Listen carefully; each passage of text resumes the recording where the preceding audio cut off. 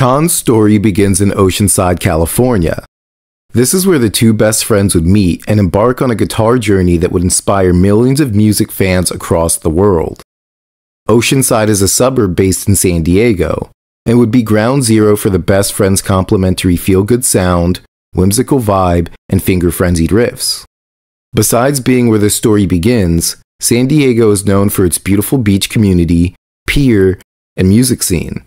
For reference, many well known acts have come out of San Diego Blink 182, Pierce the Veil, As I Lay Dying, and Stone Temple Pilots, to name a few. So it's not totally surprising that two kids with big dreams would get their musical start here. The best friends in question are Mario Camarena and Erick Hansel. Mario was born on August 15, 1992, and spent his entire upbringing in San Diego.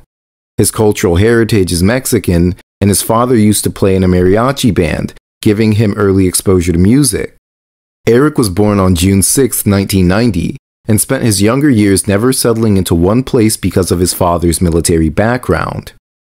Almost as if by fate, this duo would end up living in the same city and get gifted guitars at the same time before meeting each other a year into playing. Mario would receive a Fender Mini Squier as a Christmas gift, and Erick would get some cheap Fender guitar and amp combo. Before crossing paths, the duo would receive a year's worth of guitar lessons from notable Oceanside guitar teacher Seth Hollander, who would imbue both Mario and Erick with the fundamentals of playing guitar. After that year, they would go off on their own but maintain a friendship with Seth, who would act as a mentor. At 13 or 14 years old, Mario had a band he would play in for fun. A bandmate and close friend of Mario's at the time would tell him about Erick during their jam sessions together, and would strongly encourage that they meet each other as he began to see the musical gifts the two possessed. This friend thought that they would be able to make incredible music together if they joined forces, so eventually the two would be connected. Erick would visit the Camarena family home for an audition and instantly hit it off with Mario. Mario and Erick both have the same interests around video games, skating, playing the guitar, and they even bonded over fast food. Later into their careers, with an interview conducted at Fuji Rock Festival, Mario would state that a major bonding moment for him and Erick was that he was the only person he had met at the time who knew the same skate tricks as him. Right. Well, your band consists of three brothers and one old friend right? Yep, he's pretty much a brother. You've been together since you were like 13, 14, playing the guitar, yeah. learning the guitar together, right? Mm-hmm. Yeah, I tried out for a band that used to. Yeah, my I I was in a band and we needed a guitar player. So a friend of mine was like, "Hey, you need to meet my friend Erick. Like he's crazy at guitar. Like you would make cool music together." So he introduced us. The chemistry between the two was so great that the same day they met, Erick spent the night at the Camarena family home, and the two would begin writing music and practicing together for over a decade.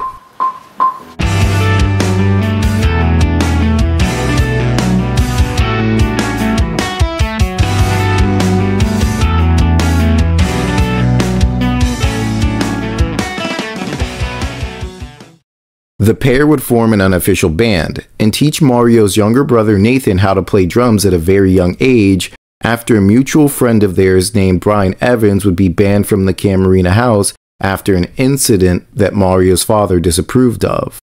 In spite of this, Brian would remain an honorary member of CHON and drum teacher to Nathan, while also being a contributing writing member of the band up until the release of their 2019 self titled album. Additionally, a third Camarena brother by the name of Isai would join the group as a bass guitarist. This unofficial group was the foundation that would become CHON, but with the members being in their early teen years, there would be little momentum outside of writing, practicing, and jamming with each other for fun. Like the bands who came before them, San Diego was ready to give the world another taste of the sound this sunny city had to offer, but our budding musicians needed time to grow. Just three years after banding together, the four members of this yet to be named band would have their first show lined up. Mario and Erick, who were the main songwriters in this group, would finally be ready to unveil the music they've been working on ever since they joined forces. Even though they had songs ready and a show lined up, they had yet to name the band. They were told by the owners of the venue location that they'd need a name so that they could be put on flyers. Soon after, while practicing guitar together, they would hear CHON being said on the background on the Science Channel. CHON is an acronym for carbon, hydrogen, oxygen, and nitrogen, the most common elements that make up life. The teenagers thought the word was funny and decided to officially name their band after it.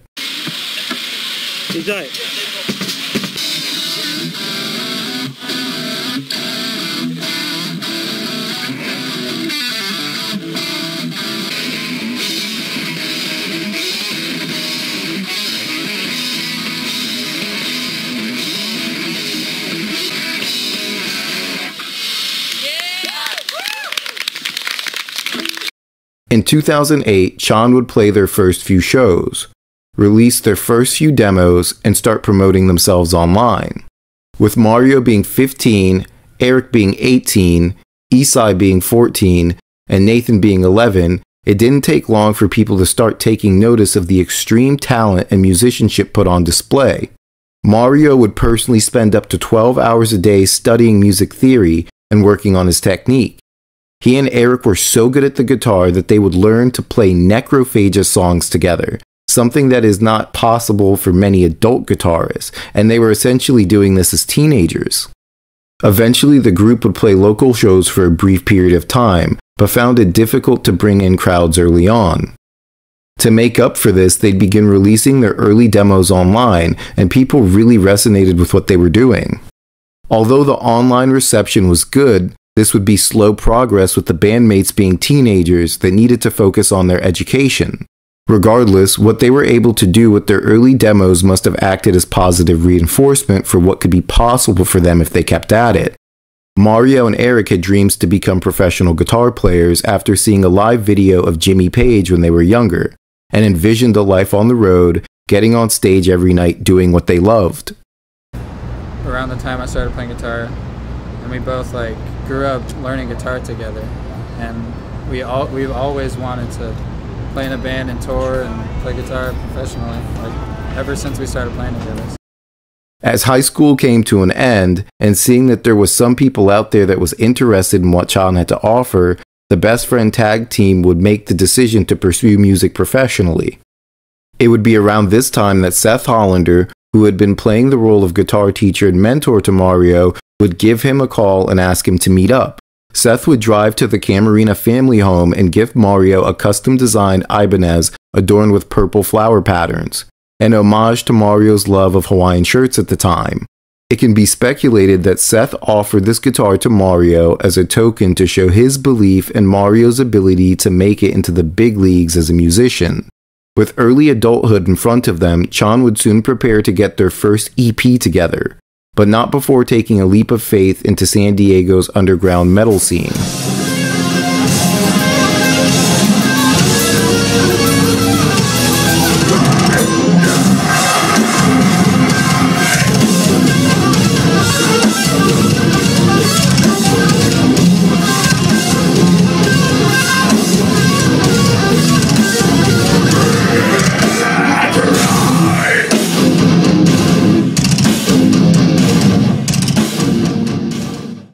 During CHON's early days, San Diego had a thriving metalcore scene, and Mario would find himself playing in some of the local bands while writing CHON material alongside Erick. A notable project that Mario contributed to was the band To Each His Own, that appeared to be gaining some momentum around the time Mario joined. Their music video for My Final Despair would feature Mario and his new bandmates playing in a party setting. A familiar face would be seen in the appearance of Drew Pelisek, a longtime friend of CHON who would sing and play bass for To Each His Own before being replaced by vocalist Richie King of Oceans.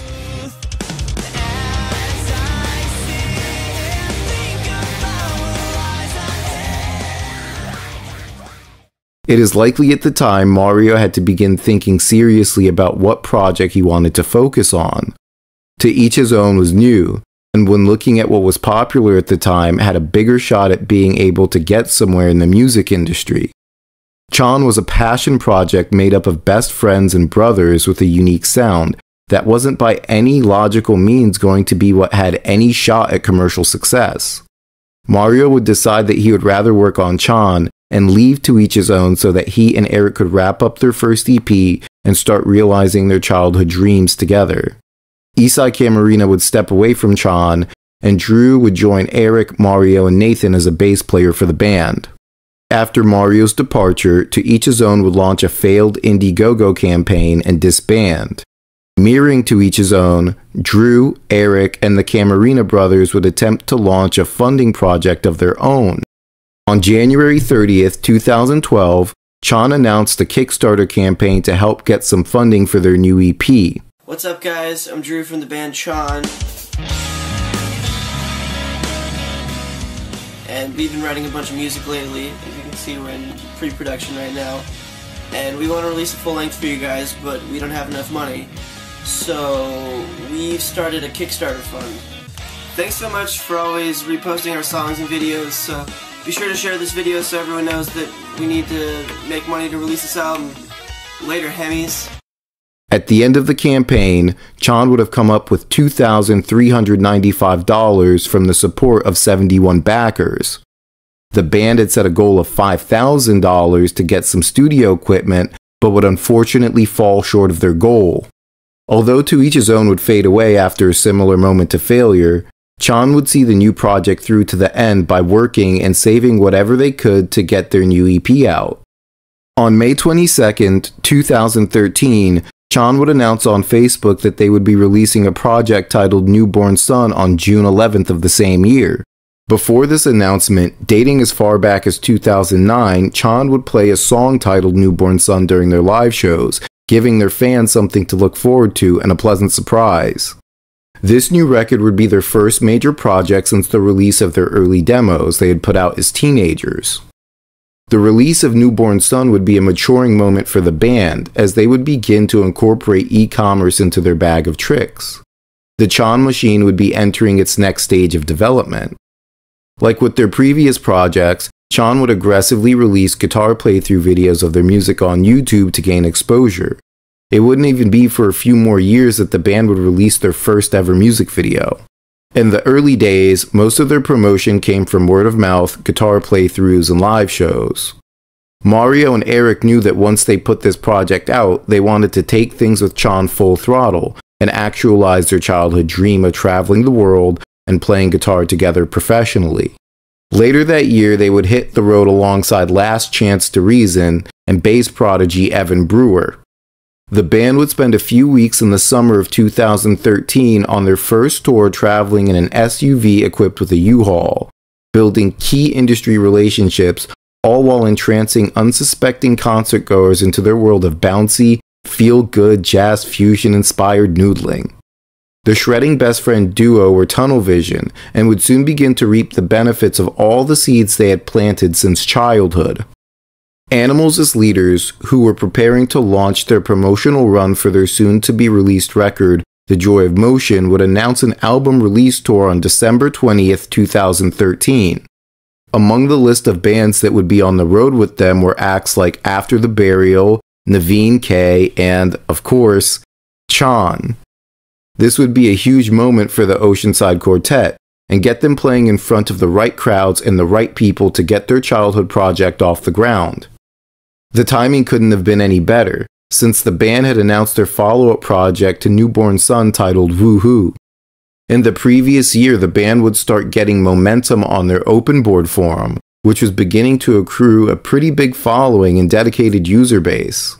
On the forum, fans would rave about the band's progress, and Mario, who would occasionally chat with the fans, would update their growing audience on things to come. The dream was beginning to grow wings, and although progress was slow, the band was successfully selling merchandise and records online, having Newborn Sun and Woohoo be top sellers on platforms like Bandcamp. While touring with Animals as leaders, Mario would do an interview with Sputnik Music where he was asked about the band's fusion influences. Mario had this to say Yeah, we've been wanting to go less metal, basically because people associate us with, I mean, look at the kind of shows we're playing. A lot of people throw the metal tag on our older stuff, but we've just been wanting to transition away from that label of being a metal band, but everything's still been made the same way. It's just a transition because that music's like six years old. We were like 15 at the time. Mario's statements implied that the band was looking to explore new sounds through CHON with the new release. The band was ready to show the world what they were made of after wrapping up their tour with Animals as leaders. In March of the same year, CHON would secure a spot touring with the band Circa Survive. And while on tour, their third project titled Woohoo would finally be released and get the band major attention from both concert goers and a booming online audience.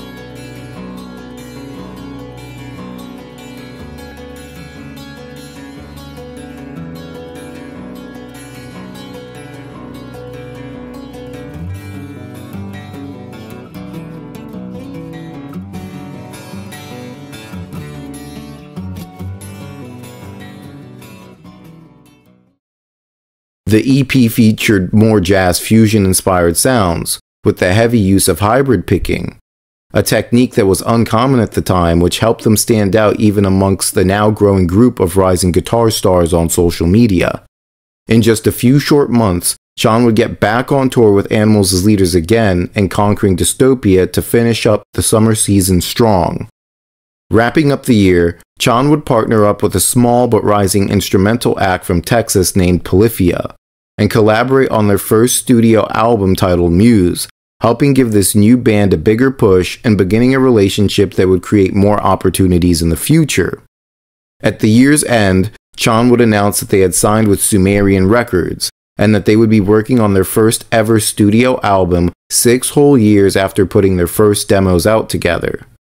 Things were really looking good for Erick, Drew, Mario, Nathan, but nothing would be able to prepare them for the popularity and recognition they would soon see now that they had the support of a major label backing them. On February 5th of 2015, CHON and crew would finally make a statement regarding their first ever full-length album. They let the fans know that the project would be titled Grow, and that it would be released on March 24th of the same year. Just as planned, Mario and Erick wanted to take things as far as they could with CHON and refused to take their feet off the gas, and seized major opportunities while working extremely hard on the road with some of the tour dates taking them international for the first time in their careers. They secured placements on stages with acts like Circa Survive, Balance and Composure, The Contortionists, The Fall of Troy, Rollo Tomasi, The Dear Hunter, and many more. During these shows, using their newfound connections at Sumerian Records, CHON would release their first single from Grow titled Can't Wait through Red Bull's media distribution network, putting the band and its sound in front of significantly more people. Grow would be released and receive positive reviews overall and land them in their first Billboard 200 placement, with the record peaking at 166 on the charts.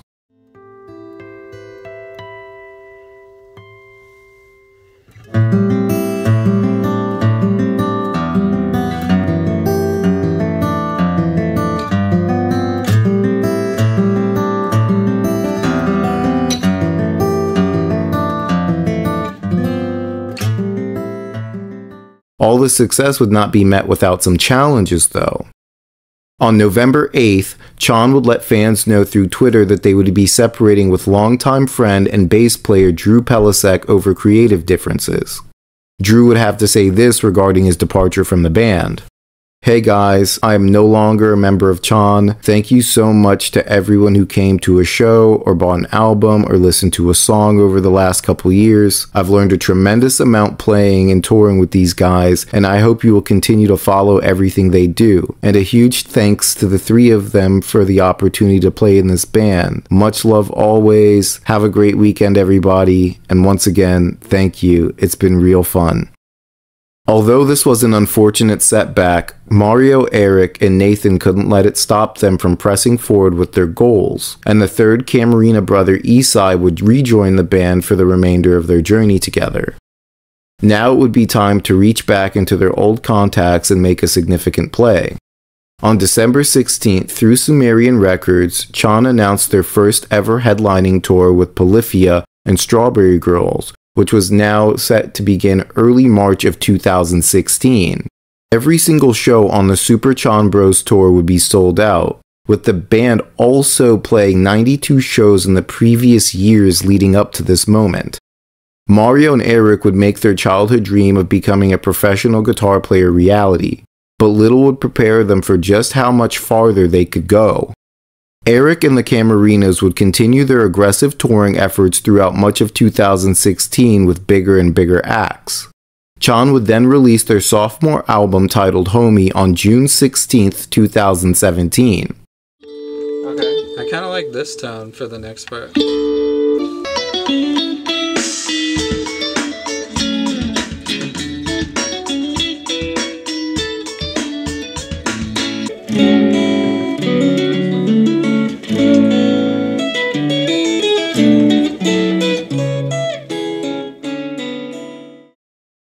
Would see major collaborative efforts from artists like Giraffage, Low File, Anthony Crawford, and more to help solidify CHON's place in the music industry. Homey would peak at number 66 on the Billboard charts, an absolutely staggering number for a jazz fusion inspired instrumental band. On March 7, 2018, CHON would rejoin a bigger than ever Polyphia for a second Super Chan Bros tour alongside TTNG and Tricot. In these years, the band would really start to see the fruits of their labors manifest into their childhood ideal.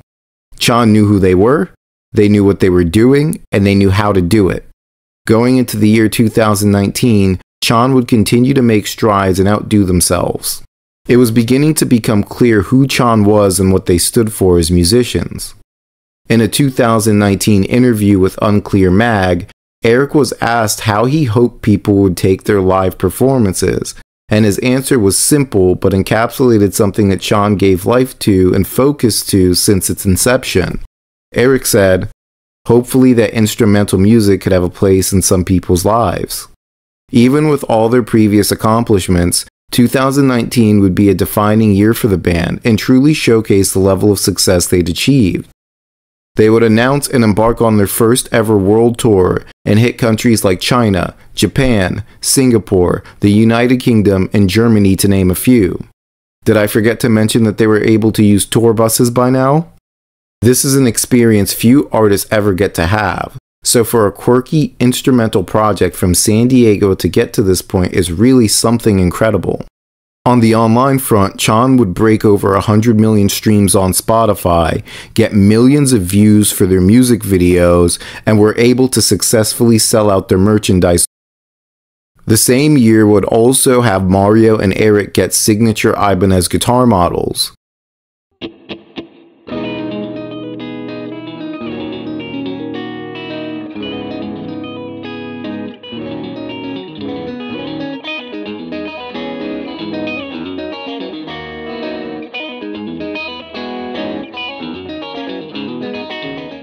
Now we have some signature Ibanez's, which is pretty much a dream come true. I went with this like transparent green. It really showcases the the wood grain really cool. It's like a burst from black. I actually have a different fretboard than the one that's on yours. This is the It was like it was really the first time I I started recording with single coil guitars. I kind of just fell in love with that sound for cleans and stuff.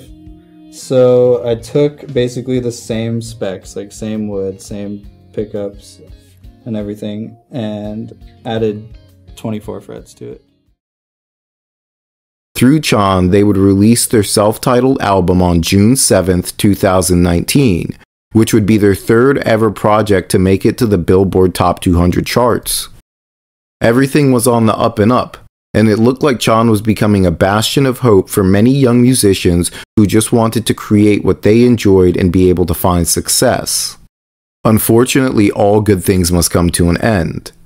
And with the global crisis set to put the world of touring and music in a standstill, CHON would be caught in a private crossroad regarding the future of the band that wouldn't be apparent for fans of their music for four more years.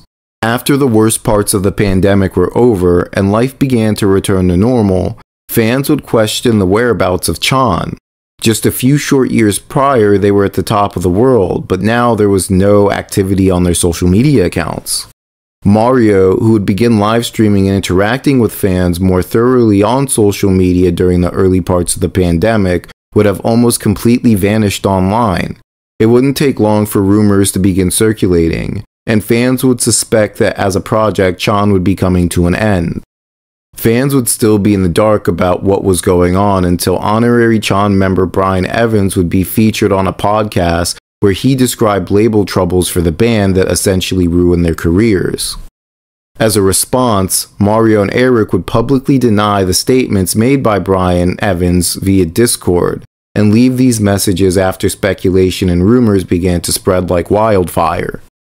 Yeah, there's been no official talk of ending the band. I've been feeling like a hiatus has been a much needed thing for me and the band for a while now. I wouldn't want to release stuff I wasn't all in for anyways. When we made the demo in 2008, we knew the shit was crazy, but we didn't know it would get the amount of support that it does. So thanks for the love, and I hope you guys understand.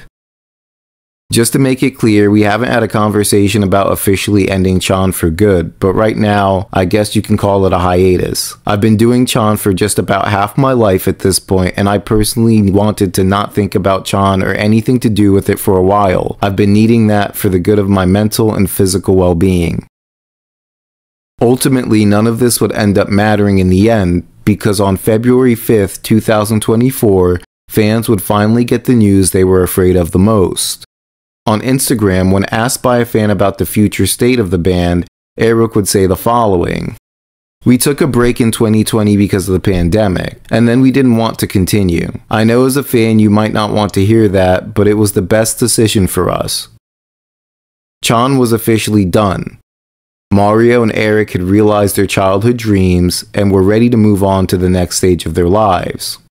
Under the moniker Sleepy Ghost, Relaxo, D-Mart, and Liminal Kid, the former CHON members released a lo-fi hip-hop album through Rise Records titled Lazy Autumn back in October 20th, 2023. Additionally, Erick has been teasing some new music through Instagram.